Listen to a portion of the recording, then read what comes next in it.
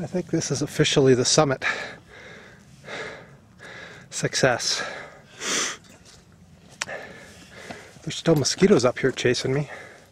No, we did a climb like this in Boulder last year. It's And like there were Canadian graffiti. Yeah.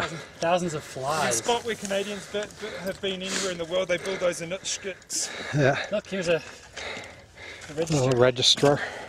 Oh, it's probably a geocache or something, isn't it? That should just be, well, I don't know. My daughter was here. I'd sign it. I don't know if you guys are interested. No, not particularly. So,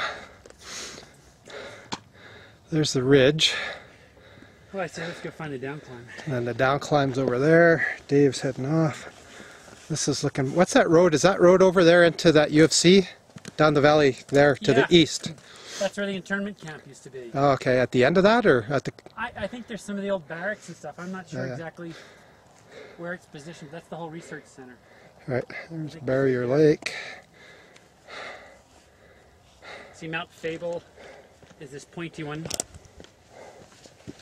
That's Mount Fable, it's called. Oh yeah, okay. That's one of the highest peaks in this. Um, This I forget the name of this range. Mount Fairholme Fable right Range, I think it's yeah. called.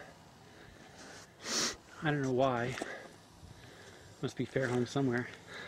Okay, See Devil's Head, the, the the shark's fin, kind of occluded by a little bit of cloud. all right. Yeah. That's way up by Ghost Rat Valley. So east end of Lake Minnewanka comes out up by there. Byron, I couldn't grab a little water, could I? Yeah, you bet. Here. Where's the on button?